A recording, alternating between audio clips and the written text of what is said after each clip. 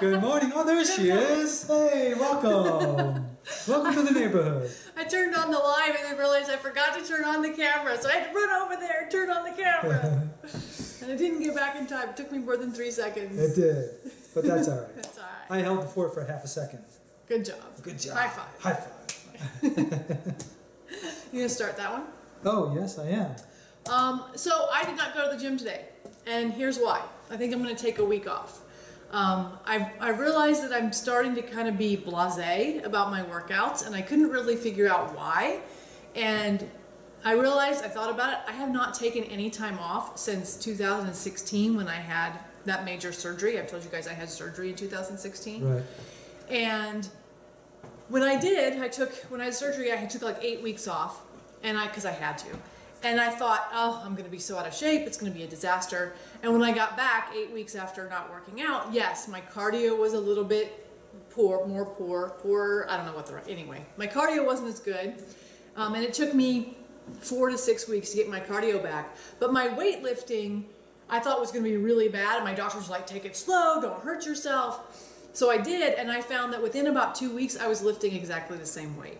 So in taking eight weeks off in 2016, I didn't lose that much. It wasn't that big of a deal.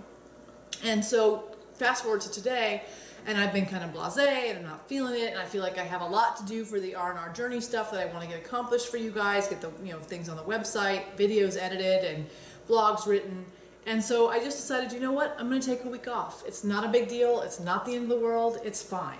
So that's what I decided. So how was your workout? Because Russ doesn't take time off. Yeah, I should, but I don't. Uh, my workout was good. It was a leg day. I did the cardio blitz before. So, yeah, it was good. I had to do a little bit different order because people were on the apparatus size Yeah. that I wanted. Yeah, I know Okay. that's not a word. But anyway, that I wanted. So I, uh, you know, altered my workout a little bit. And uh, You said a couple people tried to give you a hard time about me not being there. one person did, and I had none of it. So I would have none of it. So it's all good. People are so opinionated, especially the uh, you know pound your chest men. Like, who? How dare she take time off? Right, right. Yeah, whatever. Exactly. Don't even want to hear it. So, anyway, I'm taking some time off. Wanted to tell you a little bit about Friday. We did our speaking engagement. Of course, it decided to snow and be windy and Yeah, crazy. it was a tough and- day. Yeah. So we had a lot of people who ended up not coming because the weather was was not as pleasant as it could have been. But we got some that showed up. We did. We had a small group that came and they were very engaged. They asked a lot of questions. They, you know, were very interested. So we had a really good time with that and that was that was great. And the Whole Food uh, not the Whole Food, that's not right. The Natural Food Food, Store, right. Newark Natural Food Store has asked us to come back and do the, do it again in April. So we're going to we're working on finding a date, but we're going to do the same talk the your body can't count calories and neither should you. We're Right. going to do the same talk in April to um, allow people who weren't able to come because of the weather to hopefully get to come who were interested. Right, right. So look for that date. If you're not on our newsletter, definitely get on it so that you'll know. Um, thanks, Bridge.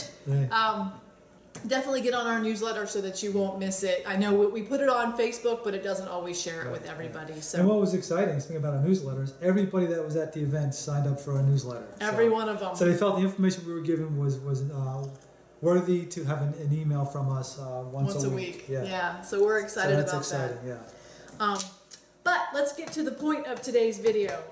Um, I've been tagged a couple of different times um, recently, a few different times, in a video that's circulating on Facebook. It's a, it's a um, sponsored advertisement thing Right. by a Dr. Gundry and for his book called The Plant Paradox. And it's a very intense, emotional, oh my God, what you're eating is killing you Right. um, kind of video. And the first time someone tagged me in it, they actually just tagged me in the video and said, Hey, Robin, what do you think of this? And that's the one you may have seen my post where I said that I was um, edited for the first time. I wrote a really long response about here's what I think, and here's some. Um, information that con- that contradicts it. That's different to some doctors And that I believe in. They deleted it. Shocking. I mean, within 10 minutes, they deleted it. And then I posted a comment because they left the tag, and it, so it made it look like I hadn't responded to the tag.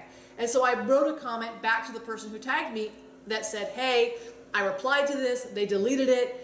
I don't know what the deal is. I'll I'll send you my response via private message because obviously they don't want it, want my information here and what I had to share here. They deleted that too. Shocking.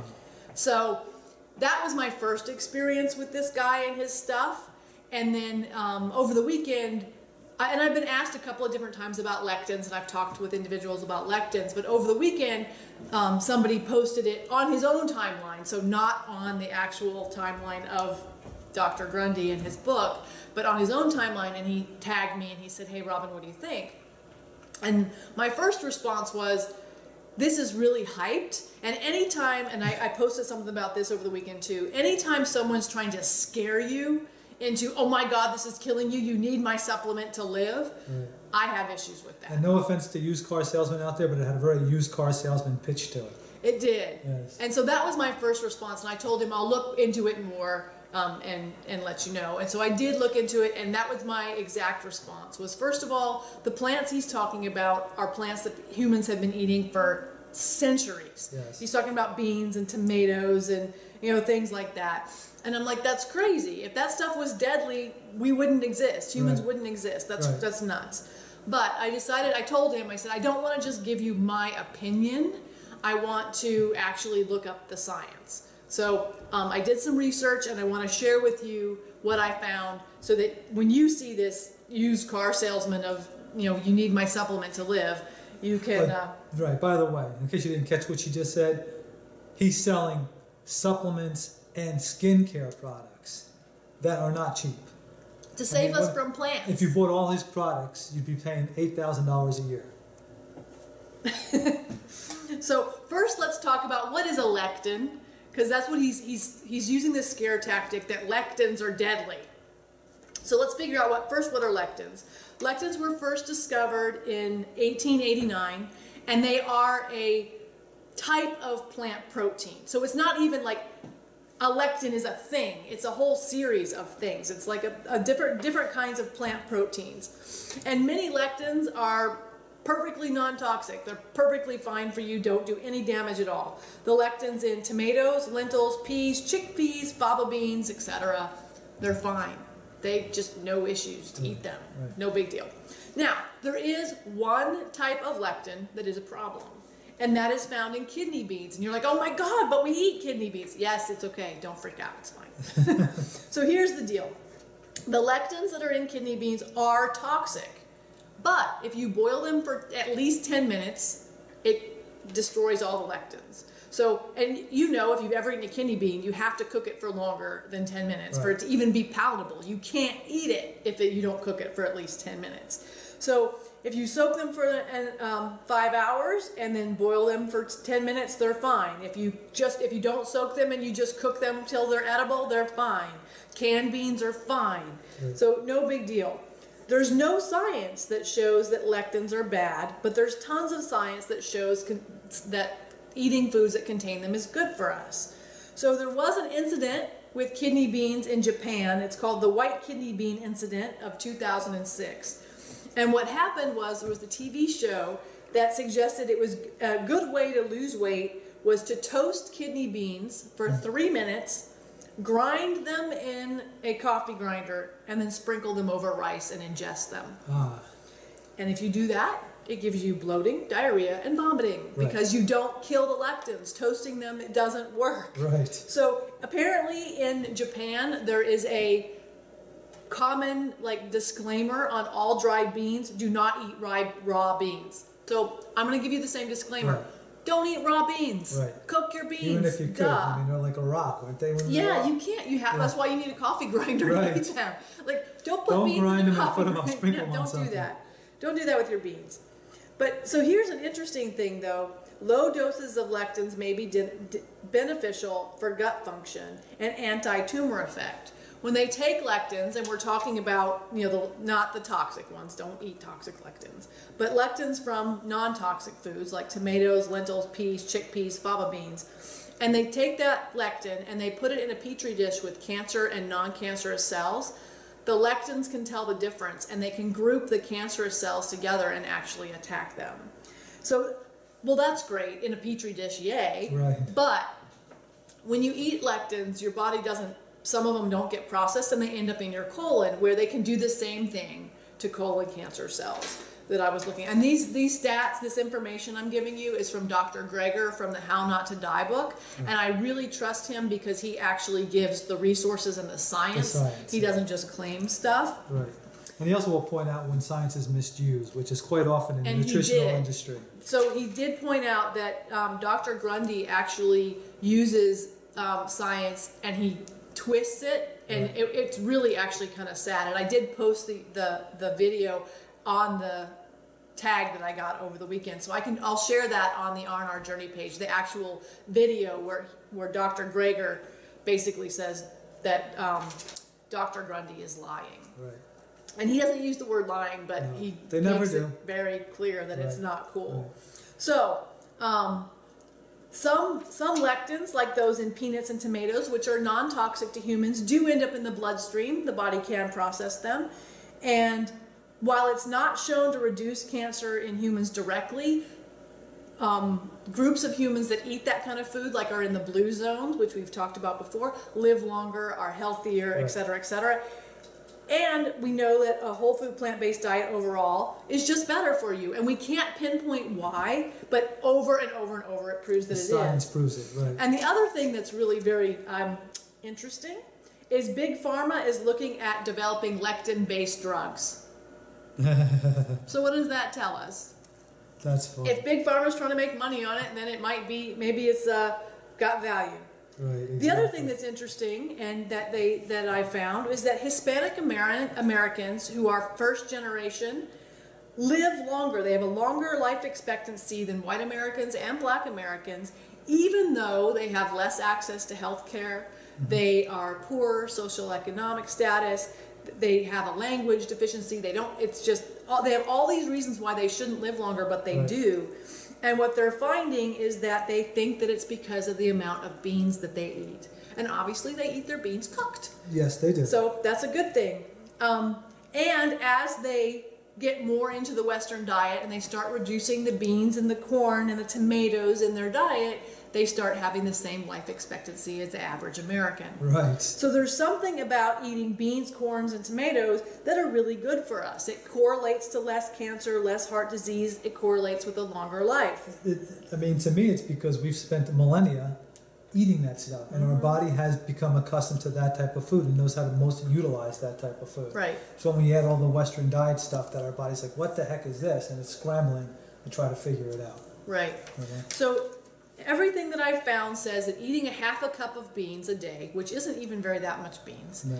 can really do positive things for us. So why don't we why don't we eat beans? Why don't people eat beans? And the, when you ask people why they don't eat beans, they say, "Well, it gives me gas." So they've done some research on that.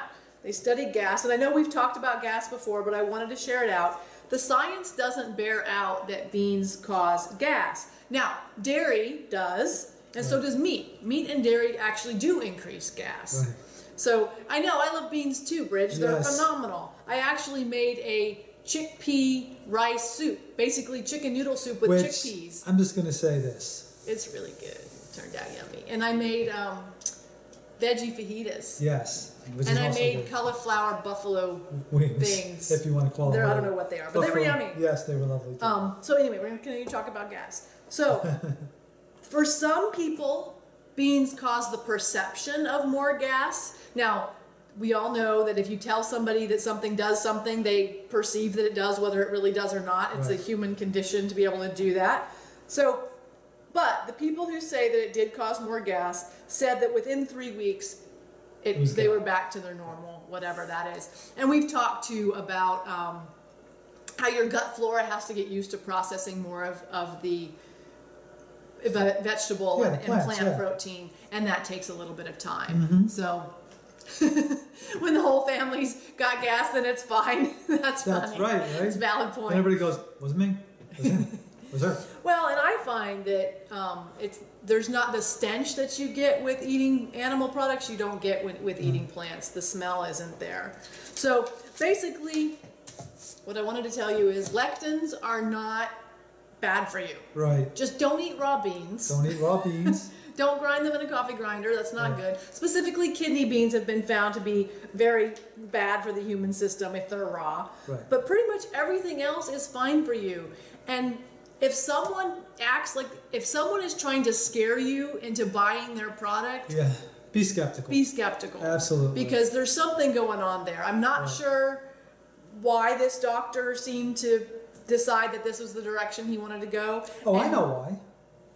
Yeah, he wanted to make a lot of money. Yeah, I mean, you saw the price of his supplements. It's terrible. Yeah, it's I mean, terrible. well, he's trying to make a lot of money. He probably is And, too. and, you know, I mean, to me personally, it's selling your soul for the dollar. It's working for him. Well, we assume it is. Yes. But so the point being, if someone tries to scare you, run.